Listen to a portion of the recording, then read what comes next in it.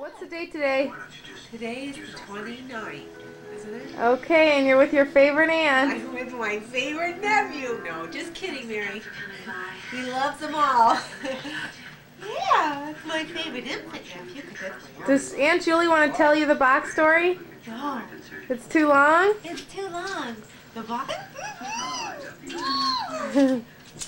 Oh, do you like the box? Here's Sammy Joe. Hi, Sammy. Look if he knows you're filming. He says, over here, Mom. I want my picture taken because I'm handsome as heck. Hi, guys. Sam's so handsome. Maybe Aunt Julie can get you to laugh. Okay. What's so funny? and the star attraction should be coming in any minute because she knows I'm filming. Mom? Mother? Mom?